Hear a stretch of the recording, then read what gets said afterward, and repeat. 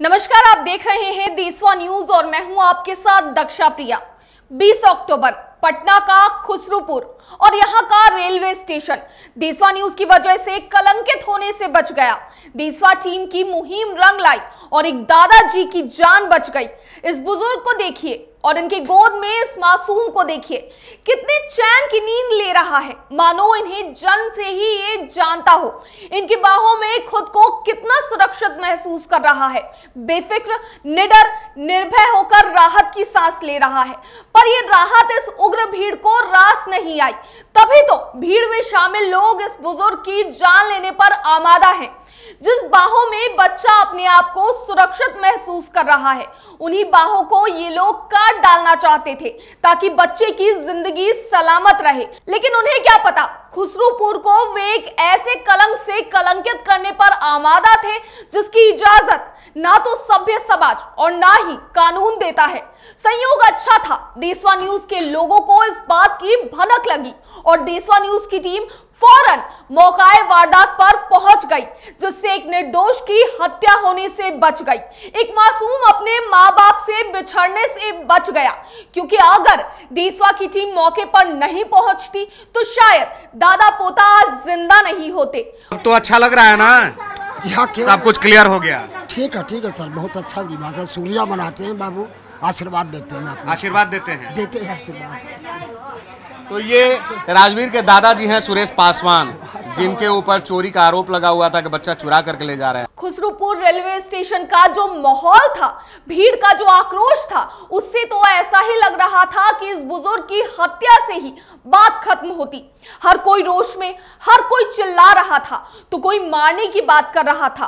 और उन सब के बीच बूढ़ा बाबा बेबस और लाचार दिख रहे थे, वो रो रहे थे, गिड़गिड़ा रहे थे, ये जताने का प्रयास कर रहे थे कि गोद में जो बच्चा है, वो कोई और नहीं, बल्कि उनका पोता है। ये अलग बात है, उनकी दाढ़ी बढ़ी हुई है, शरीर में झुर्रियाँ आ गई हैं, वो साधु की तरह दिख रहे हैं, पर वो बच्चा चोर नहीं है। लेकिन इसकी परवाह किसे थी? भीड़ में शामिल अनगिनत मर्द, एक लाचार बुज़ुर्ग पर मर्दानगी दिखाने की कोशिश में थे। इन सबके बीच ये महिला पूरी कहानी की हीरोइन बनी हुई थी, क्योंकि इसी महिला ने दावा किया है कि ये साधु बच्चा चोर है। बच्चे का अपहरण कर ट्रेन में सफ़र कर रहा है। कटीली भौएँ, कचरारे नैन और फुल टॉप मेकअप में ये महिला मानो किसी नागिन से कम नहीं लग रही है। तभी तो इस महिला के झांसे में सैकड़ों लोग फंस गए और बुज़ुर्ग की जान लेने पर आमादा हो गए। क्या देखी आप? पहले आप ही देखी उसको। हाँ, देखे ना सर उसको हम कि हम सब तो सीट पे बैठे हैं। हम बख्तियारपुर में चढ़े हैं झाझा पकड़े उन्हें तो हम अरनौद से आए हैं। तो हम देखें कि यह इतना देखें हम कि बुतरू के बोरा में कस के सीट के तरे तरे में धैले था। और बुतरू फिर ऐसे होला हुआ ना तो फिर मतलब बोरवा से कुछ हाथ निकला क्या निकला?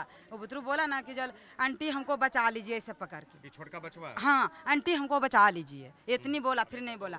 फिर वो लड़का के की बोला वो लड़का के यहाँ खुसरूपुर में शोर मच गया उतर रहा था और फिर उसको बोरा खोल के निकाला। समझे? अब बोल रहा है कि बाबा तब बाबा रहेगा ठीक है। तो वो तो गोदी में बोरा में आप देखी हाँ बोरा में देखे सीट के सीट के तरे में। हम सब सीट में बैठा था। हम लोग एगो नहीं उतरे हैं ढेर पैसेंजर उतरे हैं। तो हम लोग खाली रहे। आपके साथ और कोई है? नहीं हमको साथ कोई नहीं है। हम महिला शातिर भी उतनी ही निकली। तभी तो झूठ का पर्दाफाश होते ही मौके से चंपत हो गई। यानी पूरी घटनाक्रम का मास्टरमाइंड। या यूँ कहे कि बुज़ुर्ग की हत्या करवाने का पूरा षड्यंत्र इस महिला की उपज है। ये भी हो सकता है कि बुज़ुर्ग की हत्या के बाद बच्चे को ले भागने का इरादा हो। तो क्या ऐसे में इस महिला पर पुलिस को एक्शन नहीं लेना चाहिए? तो फिर देशवा पूछता है सवाल, इस महिला पर हत्या की कोशिश का मुकदमा क्यों नहीं दर्ज हो?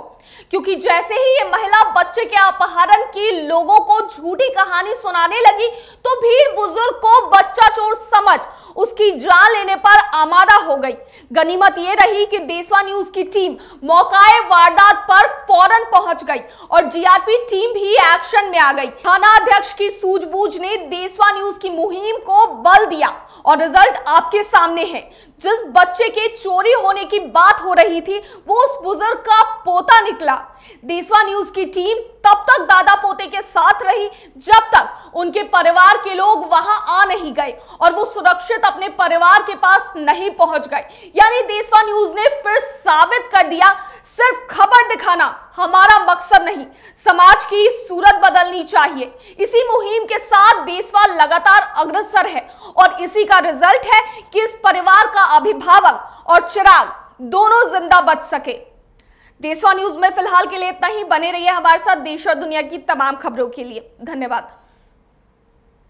सिर्फ़ खबर दिखाना देशवा न्यूज़ का मकसद नहीं। देशवा न्यूज़ की कोशिश है। कि समाज की सूरत बदलनी चाहिए। देशवा न्यूज़ पर वीडियो देखने के लिए लाइक करें, सब्सक्राइब करें। साथ ही बेल आइकन दबाना न भूलें।